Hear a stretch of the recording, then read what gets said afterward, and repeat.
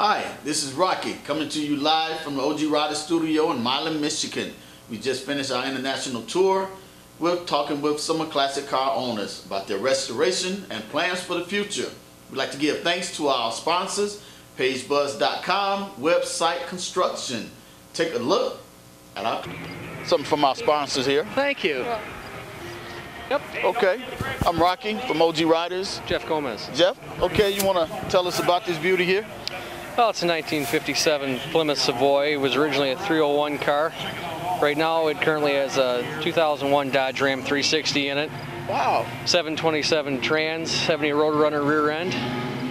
So, it uh, still has the 50s look with a little Yeah. modern drivetrain in it. So she's know. uh, highway equipped Today. Yeah, exactly, exactly. So, gotta love the fins though. Oh, oh love them, love them, Yep. love them. My So- favorite movie is Christine.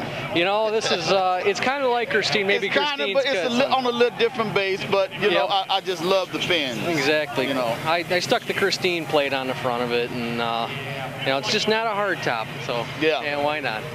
It's beautiful. She's beautiful. Thank you, sir. Appreciate it. You out much with her? You know, I just got it back out. I just got new bumpers for her and things like that. So I've been trying to hit everything I can before the end of the season. Okay. So Now, as uh, far as trips, you ever take a route? You know, maybe out of town. You ever had a route? not not lately, just around town. Okay. So Okay. I might I might Your venture. future? Yeah, I might venture out with it. So Okay. we'll see. Depends on scheduling here. So. Well, keep it rolling. Thanks All for talking Thanks to for us. talking okay. Here's our sponsor here. We want to do that. Alrighty, appreciate it. Thank you. Okay. Take care.